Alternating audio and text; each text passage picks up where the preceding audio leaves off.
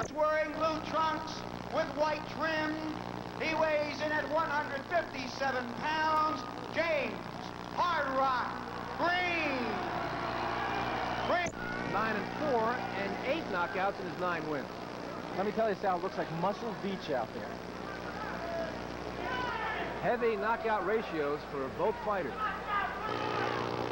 And very few people expect this to go to this distance. I'm not sure this is going to get out of the first round. It can go either way.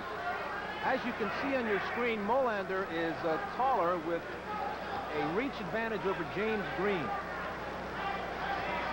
A reach advantage, that's like an understatement. James Green is 5'5", and that's stretching it. Molander is 5 foot 10. Green is making a mistake if he's going to back up. It's got to come in. James Green with a right hand that caught Molander.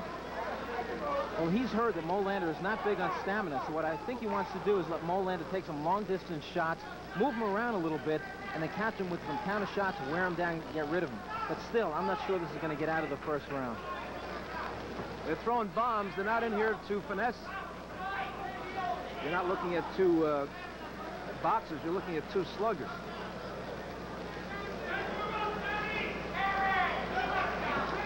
Another right hand by Green, and that time Molander was standing still with that left hand down. He was pulling back a little bit. If he had been moving in, he'd be on the canvas now because Green can really bang with that right hand. Randy, uh, James Green has the reputation uh, that a lot of fighters don't want to take him on. I wouldn't blame him. If I was a 154-pounder, I'd look the other way. Big left hook by James Green. He rocks Molander again. But just as quick as he got rocked, Molander throws dynamite, both hands. And James Green brought that left hand up from the hip. Overhand right by Green, who continues to throw grenades against John Molander here in the opening round. There's where Green is best on the inside, and he clobbered Molander's body with three good shots. A right and a left to the body of Molander, who takes a backward step. Green with the left to the body and left to the head. Molander is ready to go. Green knocks him down. Mercante steps between them. Molander up quickly, but he is hurting. He'll take an eight count from Arthur Mercante. James Green with some big shots to Molander here in the opening round and he hurt him with a couple of body blows. Green's manager, Lou Duva, is imploring Green, get on top of him and slug. Another left hook by Green. Molander goes down again for the second time. He's hurt.